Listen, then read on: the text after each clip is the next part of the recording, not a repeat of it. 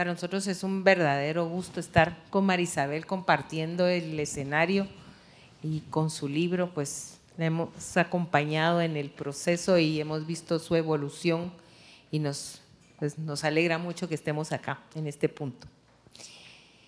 Primero voy a iniciar yo haciendo una breve introducción acerca del libro para un poco contextualizar de qué se trata la obra que veo que algunos de ustedes ya adquirieron. Primero tenemos que hablar que son unas memorias, pero ¿cuál es la importancia de tener memorias de personajes históricos eh, de nuestro medio? Como historiadores, cuando nos ponemos a, a investigar, vemos que en el tiempo se pierden detalles, se pierden anécdotas, se pierden muchas cosas en cuanto a la historia y que alguien deje sus memorias permite que haya un, nos dibujen un momento en el tiempo con cierta cantidad de detalles que no la podríamos obtener de otra manera. Si bien es cierto, muchas personas critican el hecho de que las memorias no son objetivas, creo que sí brindan al historiador o al investigador un punto de partida que puede dar una visión totalmente diferente de un hecho o de una época si solamente se toman en cuenta periódicos, revistas u otras publicaciones del, del momento. Entonces, el rescate que hizo María Isabel de las memorias de Mario Sandoval Alarcón, su abuelo, creo que es un mérito y es un aporte muy importante para la historiografía del país. No solo por ser quien fue él, sino también por el puro hecho de ser la narración de una, de una época, desde uno de los personajes y uno de los actores. La obra está estructurada de una manera que sea fácil percibir para el lector qué partes son las memorias de Mario Sandoval qué parte es lo que María Isabel eh, agregó a la narración. La parte de las memorias se dejaron totalmente eh, intocadas, no se tocaron para nada, simplemente se copiaron literalmente. Y María Isabel lo que hizo fue agregarle a esas memorias explicaciones o profundizar o poner diferentes puntos de vista. ¿Por qué hizo eso? Porque es cuando Mario Sandoval Alarcón lo escribió, él daba por sentado que todo el mundo sabía lo que él estaba diciendo. Sin embargo, generaciones posteriores, como nosotros, ya no vamos a tener frescas ni tampoco vamos a tener en nuestro entorno ese nivel de detalle que él asume que el lector conoce. Entonces era muy importante ir poniendo dentro de cada una, de, en la organización que se hicieron de, los, de la temática de las memorias, ir poniendo algunas aclaraciones, ampliaciones o puntos de vista de otros autores para que dieran una mejor visión y un mayor equilibrio al libro porque esto me trae a un punto que es muy importante resaltar en esta obra, y es la objetividad. Pareciera imposible que la nieta pueda alcanzar la objetividad al escribir de su abuelo, pero no es así. Precisamente el que ella haya presentado este, este trabajo de investigación como parte de su proceso de graduación de la maestría en historia, implicaba que ella tenía que aplicar en este trabajo todo el proceso metodológico y la objetividad histórica que se busca y que hacia la cual está orientada la maestría y el doctorado en historia de esta casa de estudios. Entonces, fue tal vez una de las cosas que ella más le costaron en cierto momento, pero la guía de su asesor creo yo que fue fundamental para mantener ese equilibrio y poder presentar a un Mario Sandoval Alarcón desde la perspectiva de él, pero también de su época. Entonces creo yo que esa organización está, es, es fundamental y además es valiosísima para quien lo lee. La parte de las memorias está escrita en cursiva y la parte que María Isabel escribe o agrega está escrita en letra normal.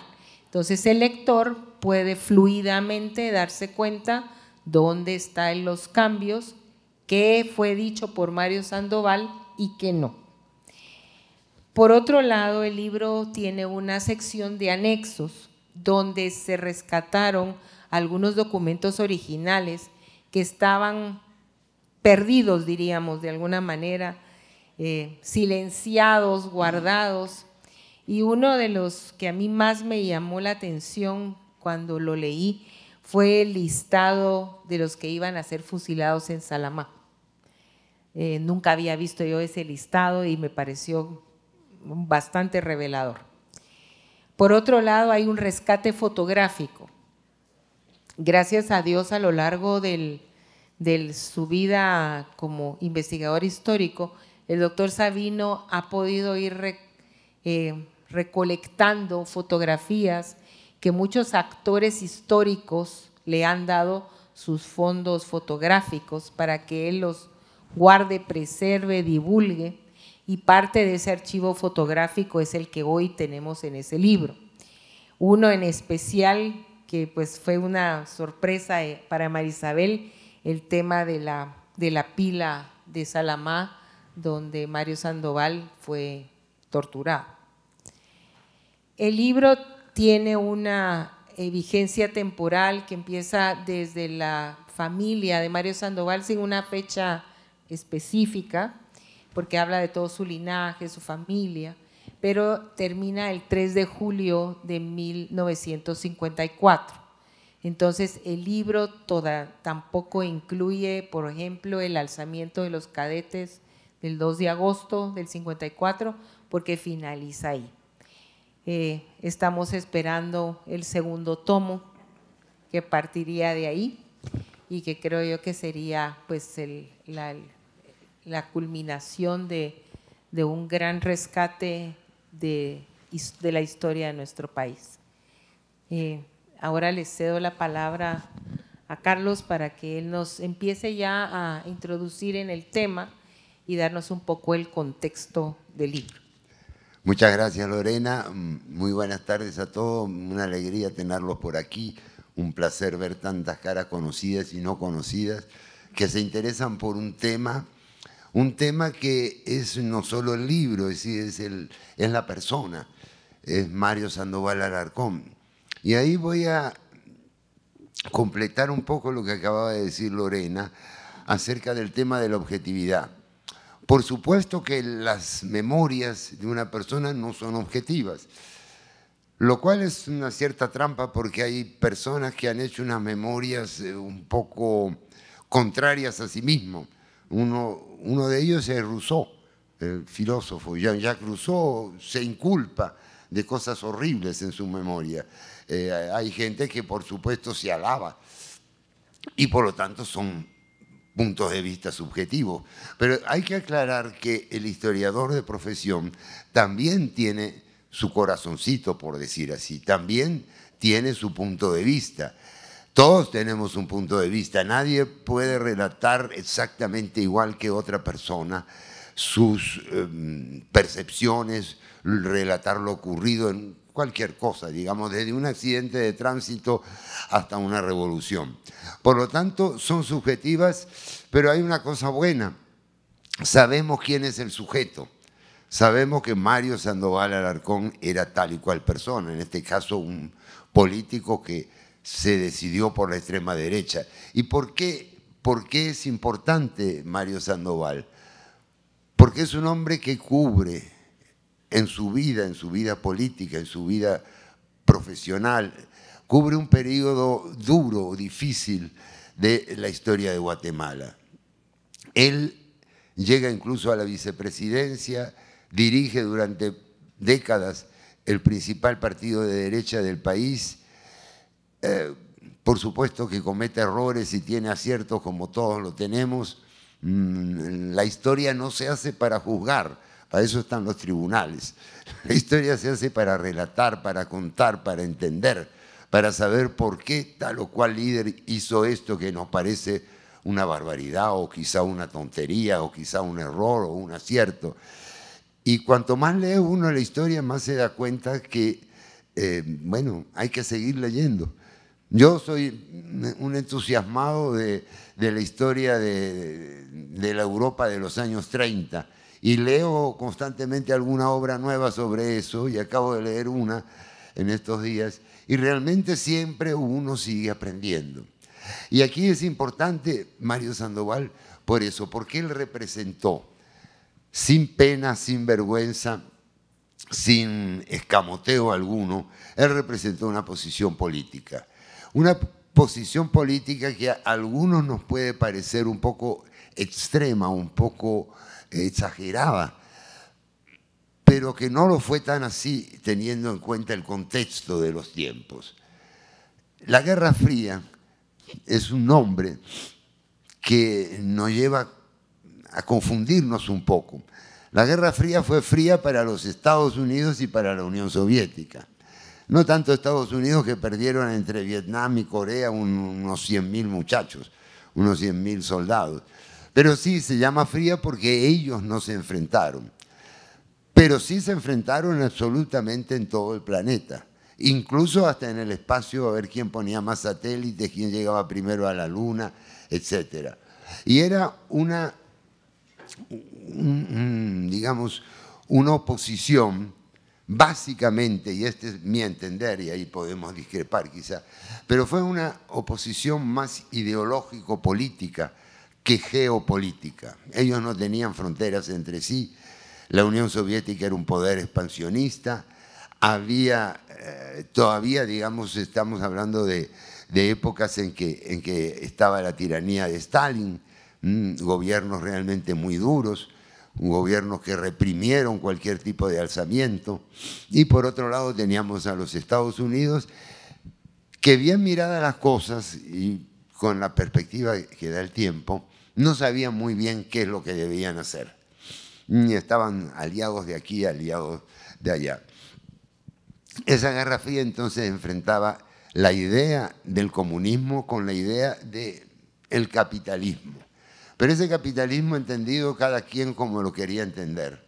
Y el comunismo al final también terminó siendo un poco variado entre China, Yugoslavia, Albania, la Unión Soviética, etc. ¿Qué hacer en un pequeño país como este? Bueno, experiencia primera de Mario Sandoval Alarcón es la misma que tuvieron muchos estudiantes, y aquí debe haber muchos estudiantes también, que eh, decidieron participar, participar a favor de la democracia en el año 44. Y la revolución del 44 no fue una revolución socialista, no fue ni siquiera una revolución social, fue una revolución política que terminó con el largo periodo de más de 70 años de los gobiernos liberales que en general se convirtieron en dictaduras. Mario Sandoval, como los Méndez Montenegro, como Fortuny, como muchos otros, mm, como gente como del ejército, como eh, Francisco Javier Arana, Castillo Armas, Arbenz, etcétera, Toriello entre los civiles, gente que quería un régimen democrático, un régimen abierto, alternabilidad en el poder, libertad de prensa y todo lo que pudiéramos llamar lo que sería una verdadera democracia liberal. Y triunfaron, pero al triunfar encontraron un nuevo problema. ¿Qué hacer ahora? Se fue Ubico, derrotamos a Ponce, porque la revolución del 44 se hace no contra Ubico, sino contra Ponce. Y ahí empiezan las divergencias, una vez que se tiene el poder y que llega el doctor Juan José Arevalo al gobierno. La revolución va a derivar en el asesinato del coronel Arana, va a derivar en una oposición entre moderados y radicales, siendo que los radicales tenían una visión socialista, admiraban realmente a la Unión Soviética y de algún modo, y esto es una de las cosas que discutimos mucho, pero de algún modo querían llevar Guatemala por un camino socialista. Ahí es donde Mario Sandoval se inicia realmente como actor político, en la lucha contra Jacobo Arbenz. Jacobo Arbenz, un coronel de pocas ideas políticas claras, muy fácilmente manipulado por su círculo de amigos y su esposa, comunistas todos. Y él, si era o no era comunista, bueno, eso lo dejo por si alguien lo quiere preguntar, pero ya me lo he respondido demasiadas veces. Pero en todo caso, para la gente que estaba viendo cómo se desarrollaba la reforma agraria, Jacobo Armes estaba llevando Guatemala al comunismo. Y ahí se produce entonces una reacción, una reacción que la izquierda ha concentrado en el tema de la CIA. La Agencia Central de Inteligencia de los Estados Unidos apoyó la rebelión de Carlos Castillo Armas. Obviamente, están los partes, uno entra a CIA y encuentra ahí todo el apoyo que hubo. Pero lo que no se dice es que gran parte de la población urbana, una de esas personas, Alcira Golcolea, que fue mi amiga antes de fallecer hace unos años, gran parte de la población urbana estaba desesperada pensando que Guatemala iba al comunismo. Lo estaban, por supuesto, las personas a las cuales se les habían expropiado las tierras. Y lo estaba también la iglesia. O sea que eh, no era la CIA. El ejército dudaba, el ejército no quería quebrar el proceso democrático, pero tampoco quería que ese proceso democrático llevara al comunismo. Ahí no les voy a contar el libro porque algunos de ustedes ya lo deben saber por haber leído historia. Ahí es que Mario Sandoval inicia realmente su lucha tiene la mala fortuna de que lo apresen, lo torturan y están a punto de fusilarlo. Realmente esa es una parte del libro que vale la pena no solo leerla, leerla dos o tres o cuatro veces, porque ahí es donde vale lo que decía Lorena, la calidez, la vitalidad, ese testimonio no es lo mismo decir fue torturado que decir me torturaron. Y eso es lo que uno puede encontrar en este libro, la vivencia. Claro, uno quisiera ver qué pasó después, cuando el hombre ya muy amigo de Castillo Armas realmente, muy cercano al gobierno y, fundador entonces de un nuevo partido político, cuando el hombre empieza a actuar en política, llega a la vicepresidencia, en fin, esa es la historia que estamos esperando que María Isabel nos entregue, pero yo como autor les digo a los autores, no los apuren, no, no, nos apuren como autores, podemos escribir cuando podemos escribir. Pero sí, Mario Saldoval realmente llega a ser una figura de relevancia. Y voy, antes de cederle ya la palabra a la autora, que me parece necesario que ustedes la escuchen, voy a referirme a un punto que quizás no lo tenemos en cuenta hoy. Hoy la gente habla muy mal de los políticos. En general, político y corrupto están bastante, son dos palabras bastante cercanas. Pero una de las cosas que tiene la política del siglo XXI en Guatemala, y que cada vez hay más en todo el mundo, es la indefinición ideológica. Todos son más o menos lo mismo. Si ustedes leen discursos electorales van a ver qué prometen los candidatos mayor énfasis en la salud, en la educación, en la protección de la gente. No hay política detrás, es toda una mentalidad de estado de bienestar y nada más. En la época de Mario Sandoval, en la época del libro que, nos han prometido, que va del 54 a los 80 y tantos, había partidos de izquierda, de centro y de derecha. Y si no les gustaba, todavía había una ultra izquierda guerrillera. Así que había para elegir. Acá elegimos entre nombres entre figuras, algunas más simpáticas que otras, algunas más eficaces que otras, o unas más corruptas que otras. Pero Mario Sandoval no, representó unas ideas, luchó por ellas y tuvo la valentía de decirlo. Algo que poca gente lo ha hecho, yo diría, y para compensar, José Manuel Fortuny el comunista, el jefe del comunismo guatemalteco lo dijo. Y él dijo, sí, yo soy un comunista, no como otras personas después que durante la etapa guerrillera empezaron a decir que luchaban por la democracia y la libertad con una metralleta en la mano. Bueno, creo que ya como introducción está demasiado largo, así que María Isabel, te escuchamos.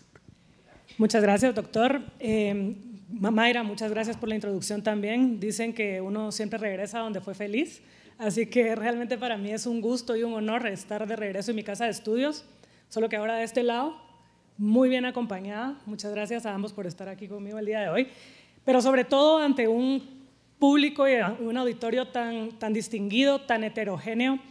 Aquí a simple vista yo puedo ver a descendientes de don Ovidio Pivaral, que fue un prominente empresario político de izquierda, de, perdón, de derecha en, Guatemala durante la segunda mitad del siglo XX. Eh, aparte, él fue padrino del personaje que estamos el día de hoy reseñando.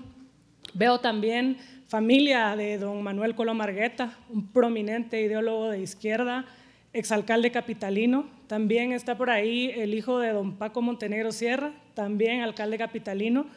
Eh, tenemos desde atletas olímpicos hasta prominentes empresarios, académicos, políticos, y realmente para mí es un honor estar aquí frente a ustedes el día de hoy. Muchas gracias a todos por estar acá. Eh, para comenzar con mi, con mi exposición, pues yo quisiera hablar un poco del personaje como tal, ¿verdad? Eh, como bien decía el doctor Sabino, pues hay algunos personajes que no son tan definidos. De hecho, la pregunta recurrente con respecto a Arbenz es si era o no era comunista. En el caso de Mario Sandoval Alarcón, ese nunca fue el caso, como bien expuso el doctor Sabino. Eh, creo que es una postura totalmente indiscutida. Era una derecha, derecha recalcitrante. Fue quizás el, primer, el principal representante de la derecha en Guatemala. Eh, pero bueno, realmente toda esta postura no, no es por generación espontánea. O sea, tendríamos que comprender realmente de dónde viene el personaje para saber por qué fue tan inamovible y tan comprometido con sus principios ideológicos. Para ello, pues me gustaría remontarme un poco a su linaje familiar. Él lo cuenta de primera mano en sus memorias. Eh, Mario Sandoval Alarcón, el bisabuelo de Mario Sandoval Alarcón, eh, es sobrino de Vicente Serna, quien es derrocado en 1871 por la Revolución Liberal. A partir de entonces, eh, buena parte de la familia Sandoval se va al exilio a Santa Ana. Allá nace el doctor Fernando Sandoval. Ya hacia el final del gobierno de Estrada Cabrera, Fernando Sandoval regresa a Guatemala. Acá conoce a, doña Encarnación Alarcón, oriunda de Asunción Mita, de una familia muy acaudalada de Oriente. Se casan y bueno, Estrada Cabrera cae en 1920 y a partir de entonces pues hay una década donde hay un poco más de apertura. Fernando Sandoval regresa, se incorpora al movimiento unionista, que es el que derroca a Estrada Cabrera, y bueno, pues digamos que tuvo una posición privilegiada durante toda la década de los 20. Sin embargo, en 1931, Ubico llega al poder con el Partido Liberal Progresista, lo cual significaba el retorno de la corriente liberal al poder. Pues con ello, eh, los opositores, ¿verdad? En este caso, la familia Sandoval fue altamente perseguida. Eh, incluso, pues, al doctor Fernando Sandoval participa en un complot en 1934 que estaba destinado a deponer a Ubico. El complot es aplastado por el ejército y todos los participantes fueron fusilados. Eh, Fernando Sandoval no, porque él era muy amigo del presidente salvadoreño, entonces el presidente aboga por él y pues Ubico accede a no fusilarlo, pero lo manda al exilio de nuevo. Ahí permanece desde 1934 hasta la caída del régimen en, el 44. Entonces, estamos hablando de un personaje que nació en el seno de, una familia con posturas políticas muy comprometidas. Realmente eso fue lo que él vio en su casa. Él viene en una, nace y crece en una familia con mucha participación política. Vemos, por ejemplo, el caso de Arbenz. Arbenz realmente no crece en una familia que sea política, sino que más bien el papá, de Arbenz era un farmacéutico, Arbenz entra al ejército, pues no quisiera decir por accidente, pero pues entra, él no tenía tampoco vocación militar, entra al ejército por una crisis económica, en cambio, en el caso de Mario Sandoval sí vemos una vocación política que viene desde el seno de su hogar. Eh, posteriormente, él eh, pues se ve muy afectado cuando en, el 18 de julio de 1949 asesinan a Francisco Javier Arana. Eh, en aquel momento todavía pues acababa de suceder la revolución del 44, todavía estaba como contagiada la gente de, de este sentimiento revolucionario y cuando pues matan a uno de los personajes fundamentales de la revolución, que dicho sea de paso, pues Mario Sandoval Alarcón era eh, su seguidor político, incluso lo estuvo apoyando en la fundación de las filiales del Partido Social Revolucionario, que era el vehículo político que llevaría a Arana a las elecciones, pues él se ve como muy indignado, al igual que mucha gente, una buena facción del ejército también se ve indignada por este suceso, y eso como que reafirma un poco la postura de Mario Sandoval Alarcón. Eh, luego, pues como hablaba el doctor Sabino también, eh, su aprisionamiento en Salamá fue un suceso crucial.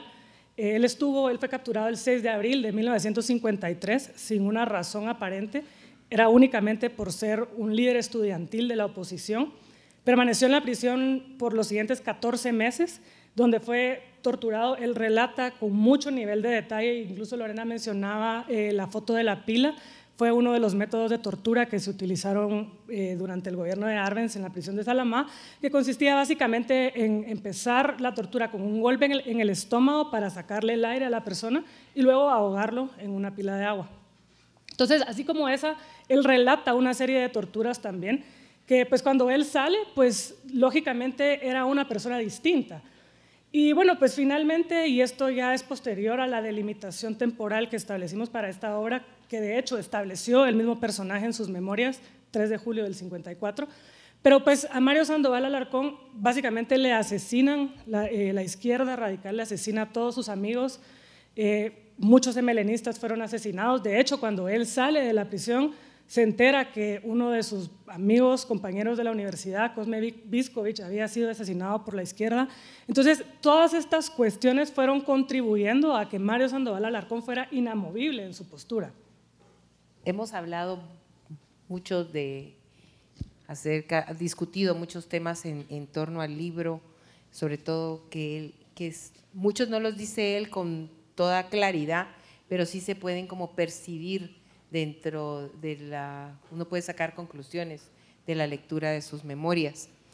Una de las que me, llama la, me llamó la atención fue el tema de los estudiantes. Él como estudiante cuando participa eh, en el gobierno de Ubico, pero también cómo esto, la participación estudiantil de la San Carlos, tal vez ampliando un poco el tema, saliéndonos un poco de la, de la circunscripción de las memorias en sí, va a ir variando en el tiempo, que son como los temas subyacentes que uno puede ir, ir delimitando en el, en, el, en el proceso de lectura. Eh, si quieres, hablemos un poco del tema del estudiantado. Claro que sí, Lorena, me parece una excelente, una, excelente situación abordar en este auditorio.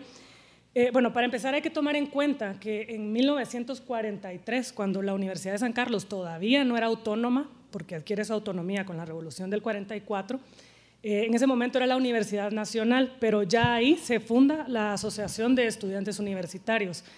Todavía estaba Ubico en el poder, pero pues la fundación de la asociación les da a los estudiantes un poquito más de participación en los asuntos de la política nacional.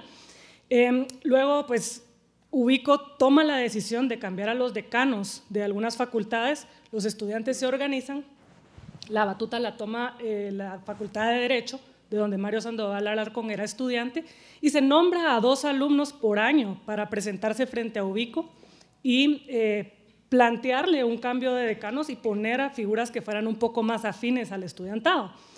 Eh, uno de los, de los dos estudiantes que fue representando al primer año de, Derecho fue Mario Sandoval Alarcón.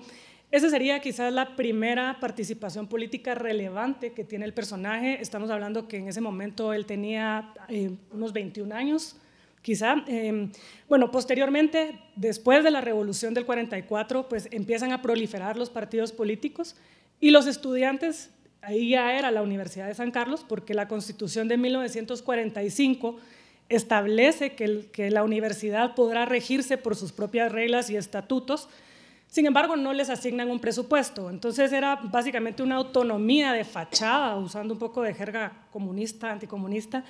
Eh, no era una, autonomía real, sino que era más bien aparente porque pues al final el presupuesto quedaba supeditado a la voluntad del gobierno de turno. Entonces realmente pues no tenían presupuesto, tenían que congraciarse con el gobierno de turno para poder contar con, con presupuesto. Entonces los estudiantes fundan un partido político que es el Frente Popular Libertador.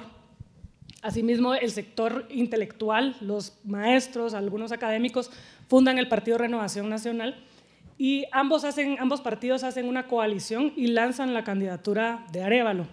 Eh, que fue de hecho quien gana las elecciones en diciembre de 1944 y toma posesión en marzo de 1945. Posteriormente, eh, cuando empieza la infiltración comunista eh, en el país, en la Universidad de San Carlos se funda el Comité de Estudiantes Universitarios Anticomunistas. Este comité reunía estudiantes de todas las facultades. No se puede decir que realmente era una una postura institucional de la universidad, pero porque pues había también grupos que sí eran afines al arbencismo, ¿verdad? Entonces se funda el CEUA, el CEUA es clave en la caída del gobierno de Arbenz porque pues los estudiantes constituyen el brazo como el brazo civil del movimiento de liberación nacional. Después el CEUA empieza a albergar una serie de, movimientos más, como fue la AJA, que es la Alianza Juvenil Anticomunista, de la cual formó parte, por ejemplo, Alejandro Maldonado, porque todavía no era estudiante universitario, sino que apenas era bachiller. Entonces funda la AJA para darle participación a todas las personas que estaban en bachillerato todavía. El COA, que era el Comité de Obreros Anticomunistas, también estaba la Alianza Femenina Anticomunista y las locatarias de los mercados, que eran un grupo de mujeres locatarias de los mercados que realmente entregaron su vida al, país eh, desinteresadamente, eh, ellas ponían de su dinero y fueron clave en todos los movimientos del anticomunismo de esa época. Quiero resaltar también, ¿verdad?, que pues había mencionado que la Constitución del 45 permite a la USAC regirse por sus propias reglas y estatutos. Sin embargo, es la constitución liberacionista de 1956 la que termina de darle a la USAC la autonomía, porque ahí ya se establece en la constitución liberacionista del 56 que la USAC tendrá derecho a un 2% del presupuesto nacional de la nación. Y bueno, básicamente eso es un pantallazo, no sé si el doctor quisiera... Claro, no, yo quería resaltar la paradoja de que, fíjate, durante el gobierno de Arbenz, los estudiantes, como tú bien lo dices y conoces a fondo eso, se oponen a Arbenz. La mayoría, hay arbencistas, pero la mayoría está contra Arbenz, contra el comunismo. Lo paradójico es que cuando Castillo Armas, ya como presidente, le reconoce esos méritos, la universidad se está pasando a la izquierda. Y ellos, gracias a una, vamos a decir, una táctica o, o algo que salió así, que hicieron los comunistas, que fue muy ingenioso, porque ellos crearon Fuego. Fuego es una federación unida de estudiantes guatemaltecos, pero era de nivel secundario. Y esos estudiantes de fuego fueron los que empezaron a hostigar a Castillo Armas ya en el 56. O sea que justo cuando Castillo Armas les da esa autonomía real, muy discutida realmente, pero pero que en todo caso es muy pro universidad. Y Carlos Castillo Armas ya había estado vinculado a la universidad. Hay un dato que, que yo he recogido, hay una revista que muestra que la universidad en el año 44, perdón es que me desvíe de la época, la universidad en el año 44 reconoce y agradece al ejército por su posición contra Ponce Baides, por la salida, digamos, de los tanques de, Arana. Y el que la persona que designa el ejército para recibir ese reconocimiento, que era una placa y, y, un acto conmemorativo, es Carlos Castillo Armas. Porque a pesar de la imagen que vendió a la izquierda, Castillo Armas era quizá de los más intelectuales dentro de esa oficialidad. Ahora él, como quien dice, les devuelve el favor, pero en el momento en que ya se están pasando al otro bando. Hay una publicación que sale durante la, durante la, huelga de Dolores que se llama No nos sientes. Y esa publicación, si ustedes la leen, van a ir viendo, claro, hay años en que no se publica, pero van a ir viendo cómo deriva hacia la izquierda y pierde ese tono fresco, simpático, mm, digamos, este, que va contra todo el mundo, irrespetuoso, como, como uno espera, y se vuelve ya en los años 60 y 70 cada vez más dogmática, más esquemática, más en la línea del Partido Comunista. Pero sí, yo quería resaltar esa paradoja nada más. Hay otro tema que también hemos en algún momento discutido, eh, porque eh, sale en el libro, y es precisamente, creo que Carlos ya hizo un poco de referencia a eso, es el papel del ejército en todo el proceso, específicamente de la caída de Arbenz. Algunos eh, han dicho que el ejército traicionó a Arbenz y que se plegó a Castillo Armas. Em, hay una muy discutida situación en eso, que de hecho tiene relación después con el, con el alzamiento de los cadetes el 2 de agosto. Eh, poco se ha tratado, yo creo que este tema se ha tratado muy poco y es muy relevante la actuación del ejército en este momento histórico. Tal vez nos amplías un poco al respecto. Eh, pues gracias Lorena, creo que esa es una excelente pregunta porque el tema de, la traición del ejército hacia el régimen de Arbenz habría realmente que analizar hasta qué punto esta aseveración puede ser un falso histórico. Yo quisiera remontarme nuevamente al 18 de julio del 1949, que es cuando asesinan a Francisco Javier Arana. Arana era un militar de línea, él fue asesinado por la izquierda radical, que ya estaba bastante infiltrada para ese momento en el país y a partir del asesinato eh, promovido por el propio Arbenz, el ejército atraviesa por un proceso de reestructuración. Eh, muchísimos de los líderes que se consideraron afines a Arana fueron neutralizados, exilados, capturados. Entonces el ejército realmente pues, se mermó muchísimo su, liderazgo a partir del asesinato de Arana. Eh, luego también hay que tomar en cuenta que cuando Arbenz llega al poder, ¿verdad? Eh, el ejército venía acostumbrado a gozar de una cuota de poder importante, veníamos de regímenes militares, a excepción de Arevalo, que era un civil. Sin embargo, la constitución del 45 le da al ejército un poco más de poder político con la creación del Consejo Superior de la Defensa, que básicamente coordinaba la postura política del ejército y también crea el puesto del jefe de las Fuerzas Armadas, que pues ese, puesto realmente era darle al ejército una especie de bicefalía, porque estaba también el ministro de la Defensa. Sin embargo, el jefe de las Fuerzas Armadas no era parte del gabinete. Entonces gozaba de un poder bastante grande, una especie de omnipotencia, porque pues realmente no se debía al presidente del todo, ¿verdad? Entonces, cuando llega Arbenz, el ejército empieza a sentir que el comunismo lo, quiere como neutralizar cada vez más, que lo empieza a desplazar de esa cuota de poder que pues, ellos venían ostentando. Eh, luego pues me voy a brincar eh, a mayo del 54, que es cuando llega el barco sueco, el Alfem, a Guatemala. Venía cargado de, armas compradas en la cortina de hierro en Checoslovaquia. Eh, las armas eran para armar milicias militares. Y realmente eh, eso disgusta muchísimo al ejército, el ejército se siente traicionado porque el hecho de armar a personas civiles que no han atravesado por la disciplina militar y por todo lo que exige la carrera, pues para ellos realmente generaba una especie de disonancia cognitiva, ¿verdad? Se contradecía con los principios que a ellos les inculcan en la institución castrense. Entonces, el ejército empieza a tener una cierta molestia por, por la idea de armar milicias, como decía Lorena, hizo mención de, la rebelión de los cadetes del 2 de agosto. Realmente nosotros hemos conversado al respecto de que tal vez si Castillo Armas hubiera tomado ese antecedente, quizás se hubiera podido evitar la rebelión, porque pues realmente la rebelión surge por la molestia de los cadetes de incorporar al ejército del Movimiento de Liberación Nacional a las filas del ejército, entre otra serie de factores más que fueron sucediendo en esos días. Eh, también cabe resaltar que el 8 de junio del 54, o sea, estamos hablando de nueve días antes de que Castillo Armas ingresara al país por la frontera del Florido, eh, el ejército le manda a Arbenz un cuestionario. Eran 20 preguntas, eh, de las cuales la mayoría eh, giraban en torno a la postura comunista que estaba pues, el gobierno manifestando.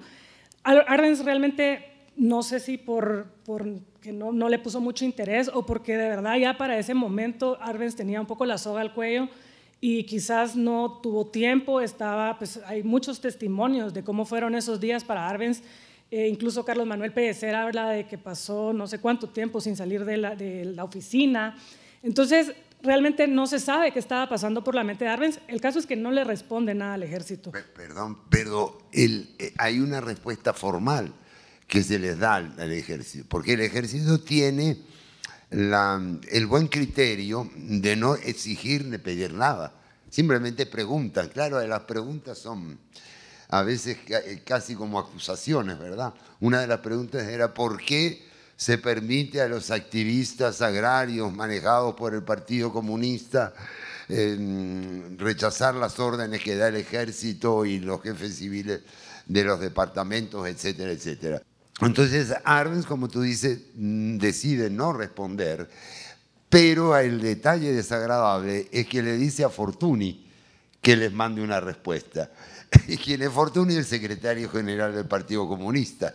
O sea que te estoy acusando de que eres comunista y le doy a los comunistas que hagan la respuesta.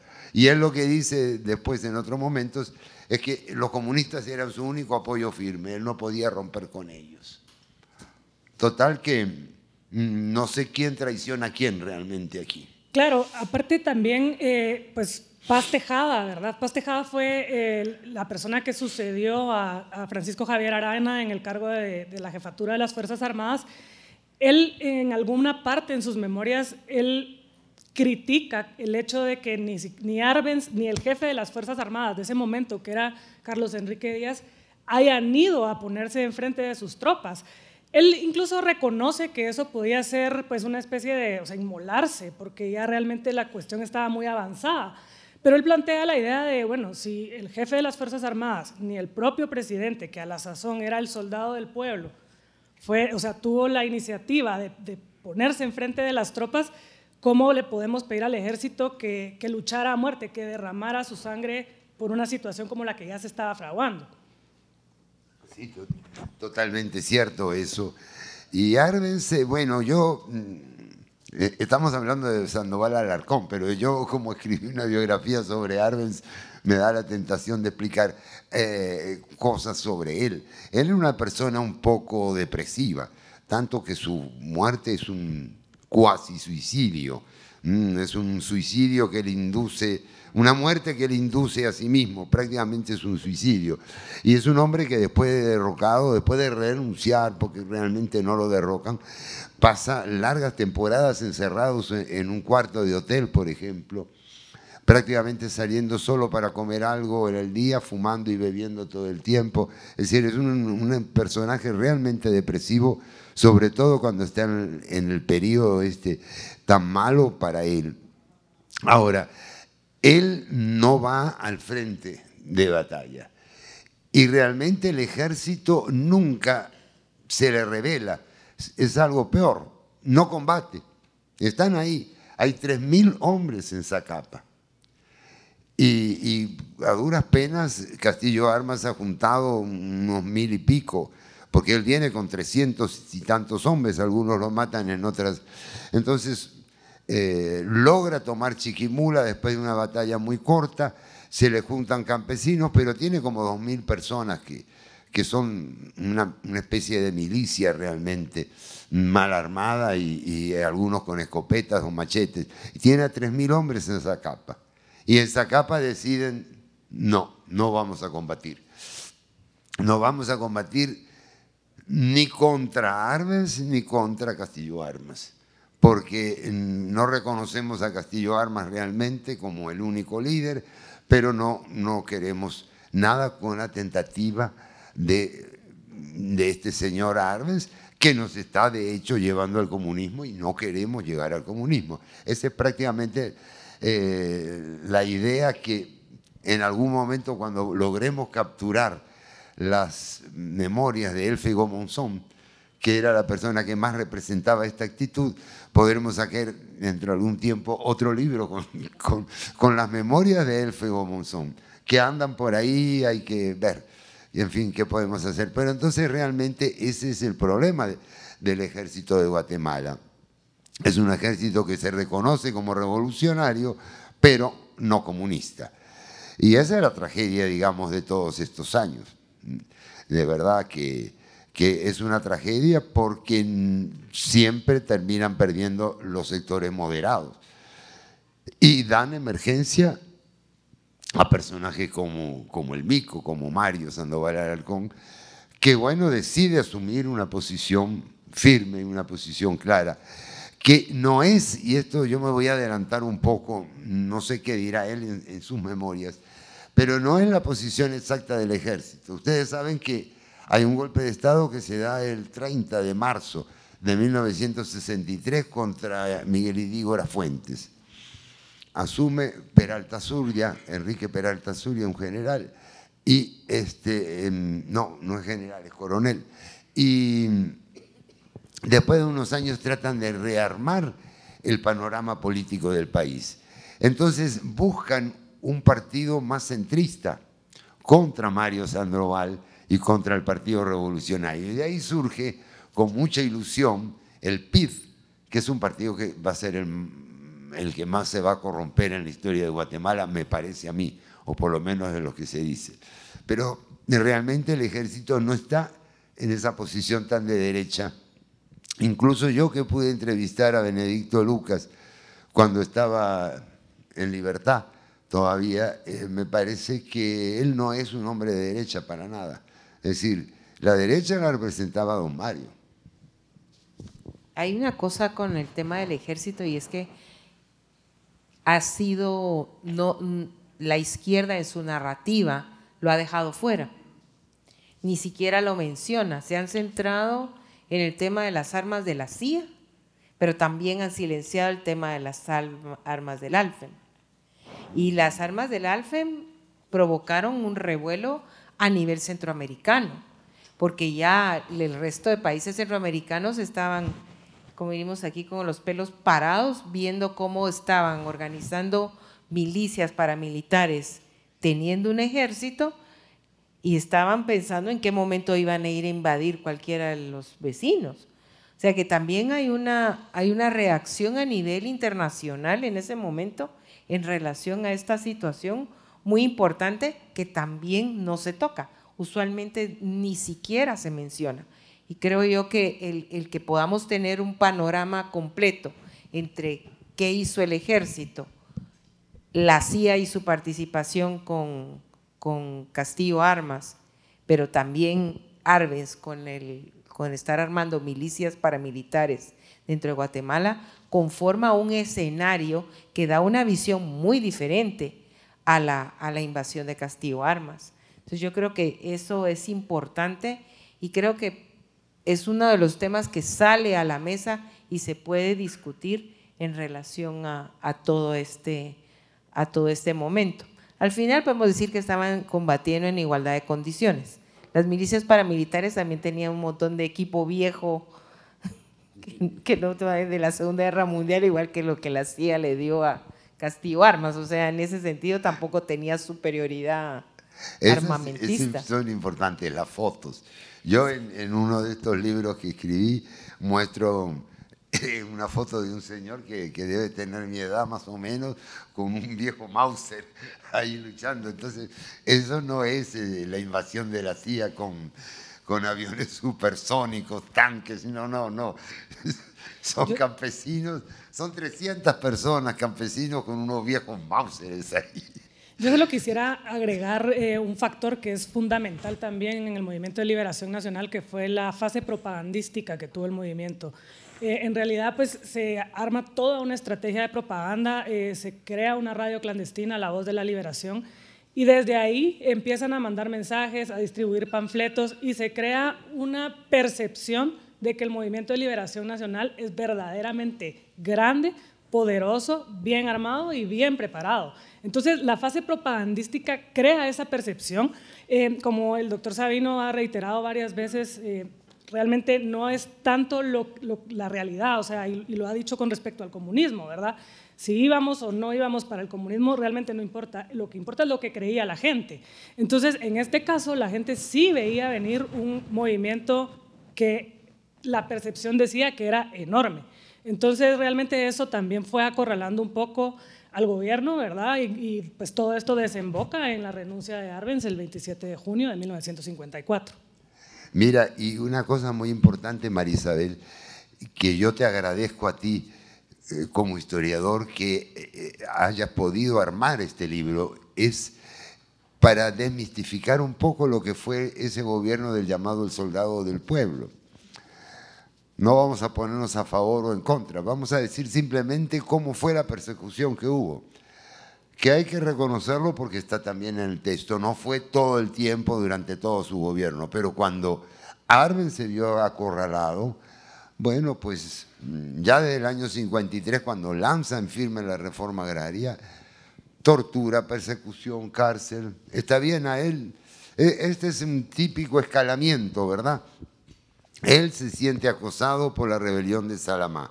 La rebelión de Salamá surge porque la gente piensa que él ha apartado ya al Poder Judicial y que él controla realmente el Congreso y que realmente a él lo controlan los comunistas. Entonces hay un momento en que poco a poco la oposición va diciendo, aquí nunca vamos a ganar las elecciones, aquí hay que alzarse. Ese aquí hay que alzarse es muy diferente en 1953 que en 2022. Estamos acostumbrados a otro tipo de lucha política. Pero en 1953 eso era lo normal. En el año 55 se alzaron contra Perón, hubo un golpe en Colombia en el 56 y empiecen a contar ustedes todo lo que hay. En esa época era mucho más aceptable moral y políticamente dar un golpe de Estado, un alzamiento, una revolución. Entonces, ya ahí comienza Arbenz a mostrar su lado represivo y es un lado realmente que no tiene nada que envidiar a ningún otro gobierno. Pues eso lo relata muy bien tu abuelo en ese sentido. Ya que hemos llegado a este punto, creo yo que sería importante discutir un poco el tema que también se le ha achacado a Castillo Armas de decir que él fue el responsable de la caída de Arbenz y que provocó un rompimiento constitucional con su, con su invasión.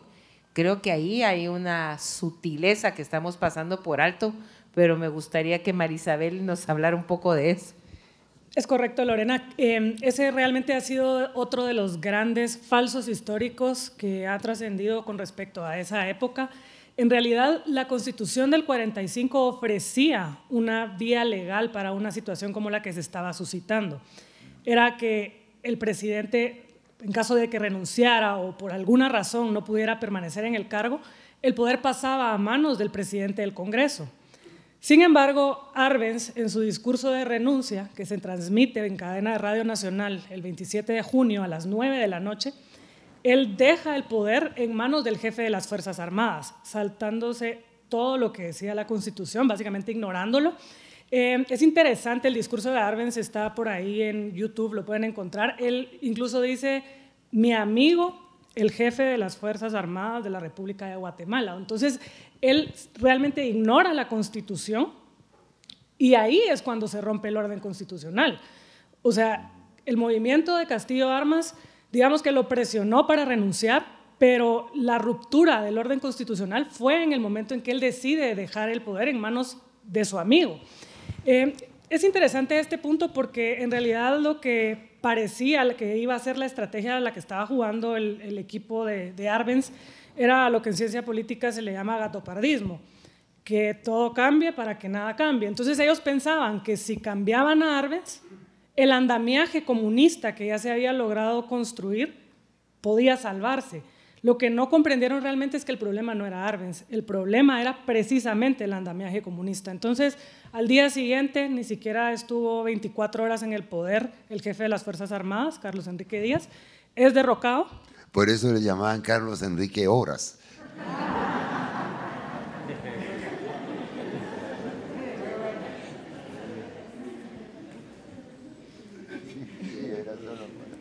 No, y bueno, básicamente, pues eh, para aclarar el falso histórico, el orden constitucional se rompe realmente con esa decisión de, Jacobo Arbenz.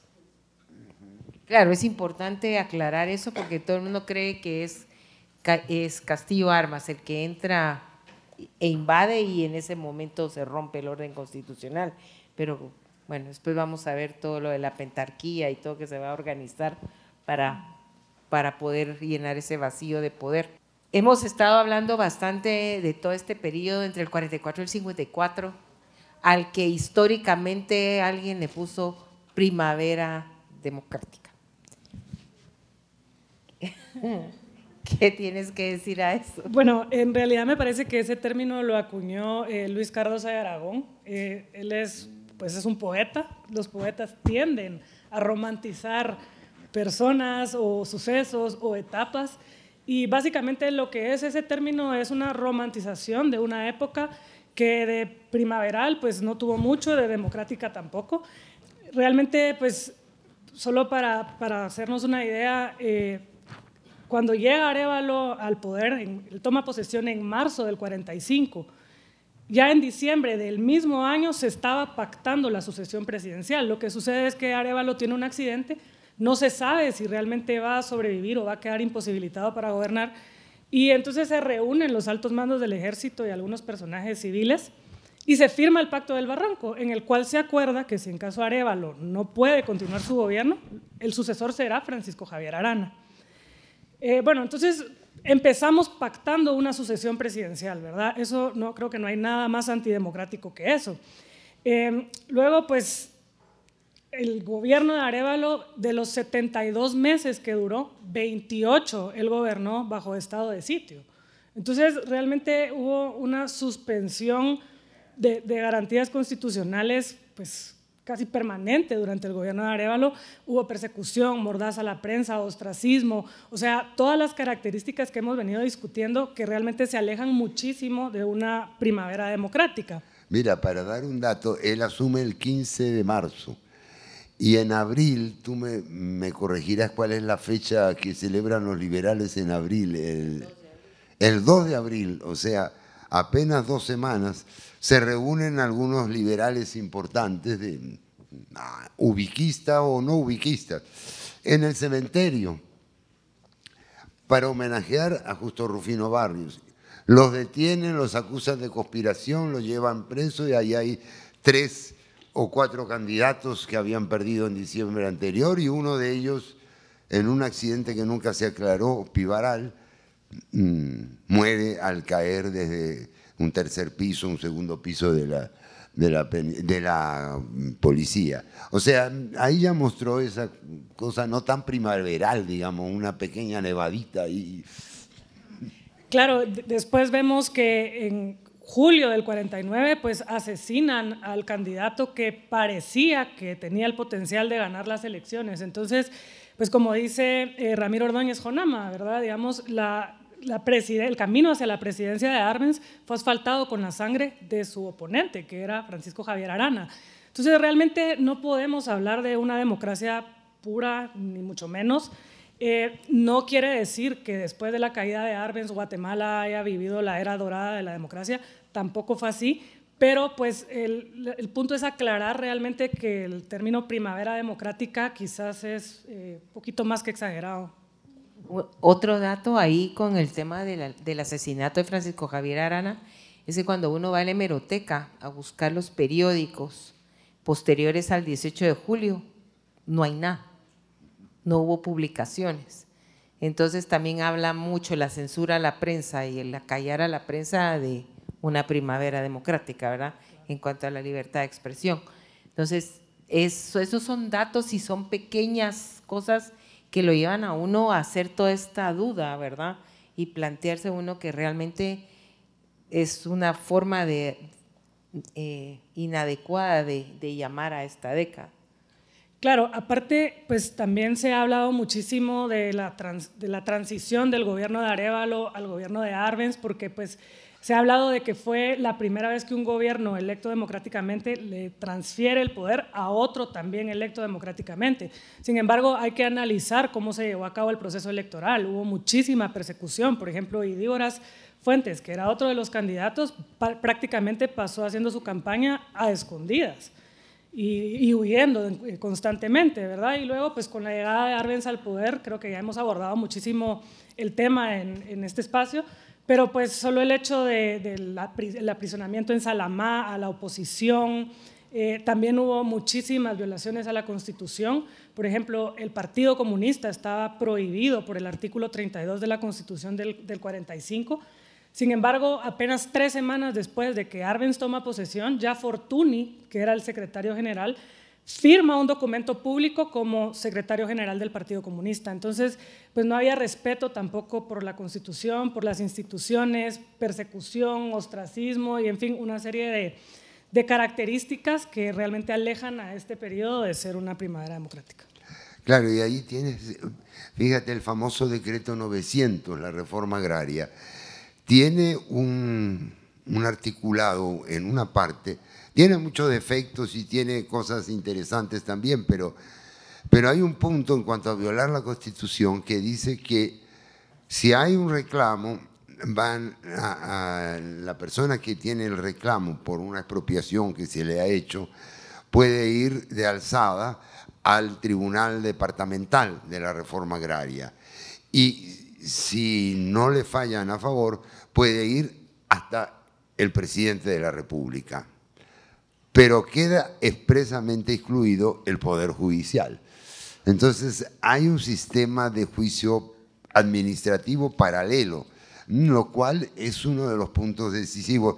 Y como la Corte Suprema sí decide intervenir en un caso, favoreciendo al reclamante, al agricultor, que obviamente tenía razón porque no tenía una finca muy grande, sino que había sido expropiado por otras razones, lo que hace el Congreso es destituir a tres de los cinco magistrados de la Corte. Ese es el punto de partida, diría yo, para pasar a otro, a otro nivel, ¿verdad?